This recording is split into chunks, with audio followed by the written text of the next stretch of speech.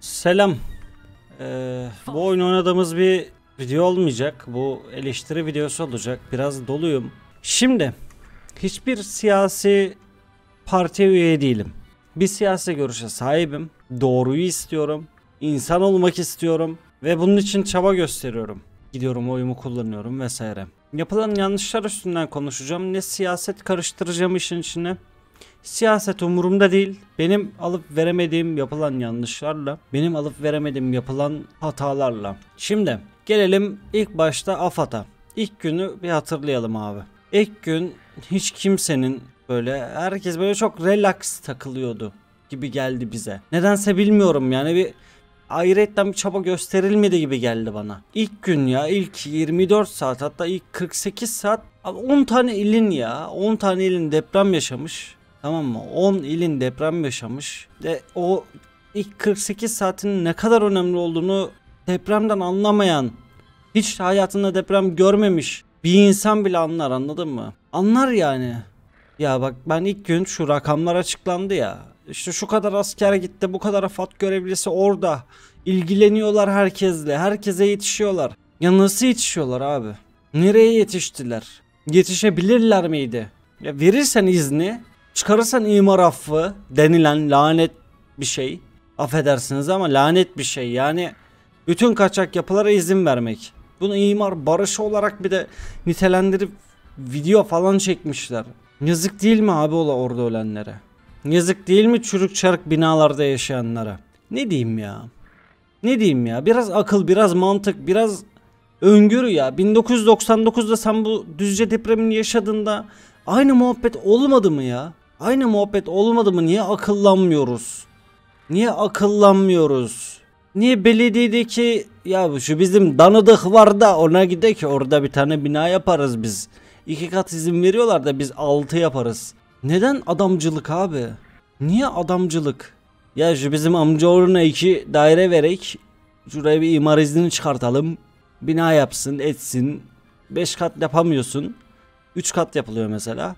Ya iki kat daha yapalım ne olacak? Sen al şu bağışı deyip derneğe para attıp ya çok komiksiniz ya. Cidden çok komiksiniz. İnsanları cidden aptal yerine koyuyorsunuz ya. Çok zor abi ya. Ya konuşmak, bir şeyleri anlatmak hapse girmeden çok zor emin olun yani. Hapse girmeden inanılmaz zor. Kötü bir durum yaşadık. Bütün ülkece, bütün dünyaca kötü bir durum yaşadık. Bütün dünya gördüğümüz en yüzyılın gördüğü en kötü deprem. Önlem alamaz mıydık? Erzin ilçesinde nasıl aldılar? Nasıl bir tane ev yıkılmadı? Neden yıkılmadı oradaki evler? Niye yıkılmadı abi? Bana birisi bunu açıklayabilir mi ya? Adamcılık olmadığı için yıkılmadı. Ya cebime 3-5 kuruş daha girsin. Belediyeden gelen maaş yetmiyor bize. 2 tane bina yapalım. 3 tane villa alalım. Yok Audi'ye binek, Porsche'ye binek. Aşk gözlüsünüz abi. İnsanların canına kıyacak kadar aç gözlüsünüz. Ne denetlemeyenlere söylüyorum. Siz de aç gözlüsünüz. İnsan canını hiçe sayacak kadar aç gözlüsünüz. Biz köle değiliz. Köle değiliz biz. Ölüme mahkum edemezsiniz bizi. Biz insanız.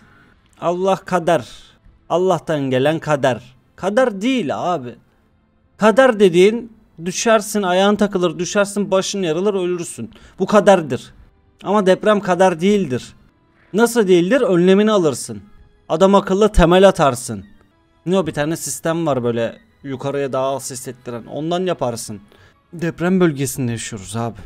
Adam koymuş iki tane çubuk. Ya ben şeyi gördüm ya. Ya nasıl olabiliyor dedim ya. Nazar boncuğu çıkmış. Nazar boncuğu çıkmış.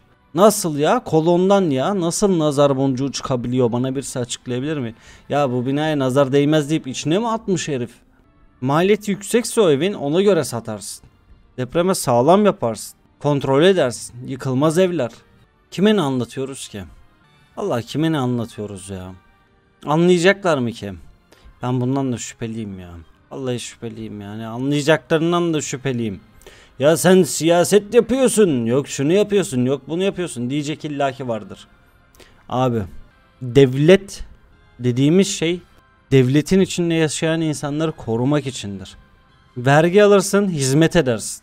Benim gördüğüm hizmet hep birilerinin cebine. Hiç millete değil yani. En iyi yolu yaptık. Lanet olsun dostum bu yoldan daha iyisi var mı?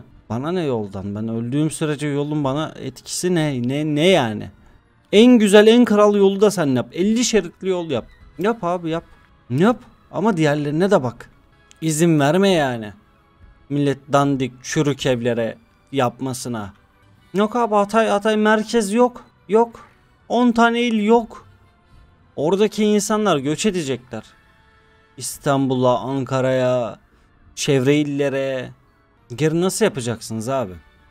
Ya ben, ben bir de şeye çok tutuldum. Bak kimsenin değinmediği bir şey. Ama şuna çok tutuldum. Çıkıp televizyona bir yıl sonra biz bu binaları tekrardan inşa edeceğiz dediler. Ya ben benim derdim o an binanın bir sene sonra yapılması değil. Veya orada ailesini kaybeden, yakınını kaybeden adamın bir sene sonra o binanın yapılması problemi yok orada. Orada tuvalet problemi var. Lojistik problemler var. Anlatıyor insanlar görüyorum sosyal medya çağındayız. Biz yani paylaştıkları herhangi bir şey yayılıyor zaten. Twitter'a giriyorsun ayrı, Instagram'a giriyorsun ayrı, haber kanallarına gidiyorsun ayrı. Ne diyeyim abi ya? Ya ne, ne desek boş anladın mı ya? Ne, ne desek bunlara boş. Vallahi. Ne desek boş. Yarın bir gün aynı tas aynı hamam gitmeye devam ettiklerinde yani şu şunu demek istiyorum. Kısaca toparlayalım. Yapılan yanlışlar var. Evet yetişemezsin 10 ile birden. E bunu da öngörmen lazım ey AFAD. Ona göre lojistiğini, çalışmanı yapman lazım.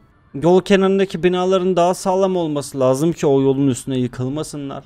Mesela ana yollar, ara sokaklar. Ya bu, bu binalar sıkıntılı. Bunların yeniden yapılması lazım diye rapor vermiştir illaki birileri ya. İllaki birileri vermiştir ya. Diyeceksin kardeşim bir sene içinde evini tekrardan yap. İki sene içinde evini tekrardan yap. Gelip kontrol edeceğim, denetleyeceğim. Yani bağımsız bir denetleme kurumu lazım. Böyle bir kurum lazım. Bir kurumun bir yere bağlı olduğunda neler olabileceğini az çok görüyorsunuz. Ya şu benim amcamın oğlunu alalım ya. Şu benim amcamın oğlu anlar böyle lojistik falan çok iyi bilir. Ne okudu? Turizm okudu. Turizm mezunu. Abi turizm mezununun AFAD'da ne işi var? Mesela. Bunu diğer şeylerde de düşünebilirsiniz. Ya onun bunu bu mezununun o AFAD'daki herifin lojistik bilmesi lazım. İlk yardım verecek kadar eğitiminin olması lazım. Herhangi bir doğal afette nasıl hareket edeceğini planlamış olması lazım. Bunların planlı olması lazım. Bir doğal afet olduğunda ilk 24 saatte AFAD ne yapacak planlı olması lazım. Planlı olarak ilerlemesi lazım. Niye planlı değildiniz abi? Bir de şuna değineceğim. İlk gün 4000 asker dediniz. 10 tane ilden bahsediyoruz. Bak sınırlı ko sınırları koruyanları geçtim. Korumak zorundalar şu an. Zorundalar çıkamazlar bir yere. Bıraktığın an gelecek abi. Yani Suriye'de de deprem oldu. Oradaki insanlar da kötü durumdalar. Oradaki insanlar da gelecekler buraya. Sen sınırlarını bıraktığın an. Bir de böyle bir tehlikem var. Bırakamazsın sınırını. Kaydır bütün askerleri. Kaydır abi. Tak tak tak tak. Az çünkü 10 ilden bahsediyoruz. 4000 asker az. Hayvan gibi yağmalandı her yer. Hayvan gibi yağmalandı her yer. Ya duyuyorum haberlerde, internette falan milletin elini kolunu keserek kolundaki altını alıyor millet. Yani kredi kartı bulmuş bir yerden gidip alışveriş yapıyor o kredi kartıyla. Ya başkasının kartı o. Yok temassız ödeme. İptal ediliyormuş temassız ödeme. Şifreli olacakmış. Temassız göstereceksin şifre gireceksin. Olması gereken o zaten. Zaten o. Keşke hep öyle olsaydı. Milletin kartını kullanmak ne ya? Adam orada can havliyle canıyla kapışıyor. Canıyla çarpışıyor. Sen gidiyorsun o adamın kartını kullanıyorsun ya. ya. Biraz akıl var, biraz mantık var, biraz biraz hani beynine kullanmak var. Çok doluyum. Konuşamıyorum. Çok doluyum. Aşırı çok doluyum. Yani içeri atılmadan nasıl konuşurum bilmiyorum. Öyle söyleyeyim size. İçeri atılmadan nasıl konuşacağımı bilmiyorum. Çok yanlış var. Suçu başkalarına atmayın. Bu durumu yaratan sizlersiniz.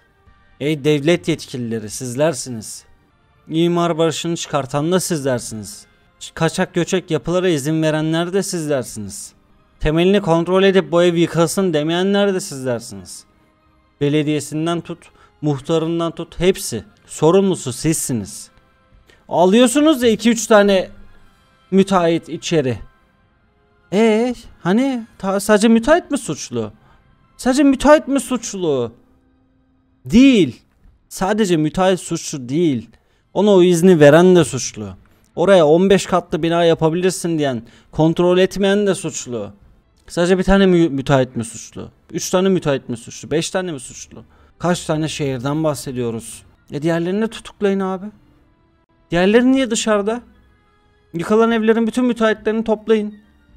Yargılayın. Niye böyle bina yaptın diye. Yargıla. İnsan canına kastetmekten at içeri. At içeri 5 bin mi 10 bin mi at içeri. Yine cezaevi yap at hepsini içeri. Kalsınlar 5-10 yıl. İnsanların biraz gözü korksun. Yapamaz mısınız? Yaparsınız. Yapamaz mı kimse? Yapabilirsiniz. Bunlara neden olanları da araştırın bulun.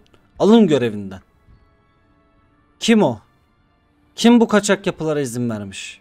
Kim iki katlı imar alıp da ya ben 5. kata da çıkam deyip 5. kata çıkıp o kolonlar dayanmıyor tabi bir yerden sonra. İki kat için yapılmış ev. İki kat için pro- proje çizilmiş. O iki katı taşısın diye yapılıyor o kolonlar. Beş katı taşısın diye değil. O zaman da yıkılıyor işte bina. Ama kime ne anlatıyorsun ki? İlk önce gözümüzü doyurmamız lazım bizim. İçeri atılmadan kapatıyorum videoyu. Seviyorum sizleri. Daha güzel günlere inşallah. Herkese geçmiş olsun.